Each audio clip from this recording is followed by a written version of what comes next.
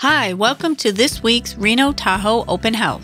My name is Karen Conrad. I'd like to invite you to my open house Saturday, July 29th and Sunday, July 30th from 12 to 3 at 4460 Pinehaven Road in Reno. This distinguished home, designed by Gail Richie and built by Homecrafters, is located in Caughlin Ranch Estates. It is close to shopping, schools, and mountain walking trails.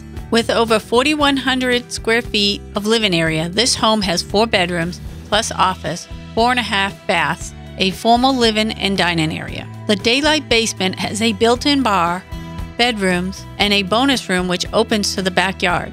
Enjoy cooking in this gourmet kitchen with a gas range, double ovens, granite countertops, cherry cabinets, large island with sink, and a walk in pantry.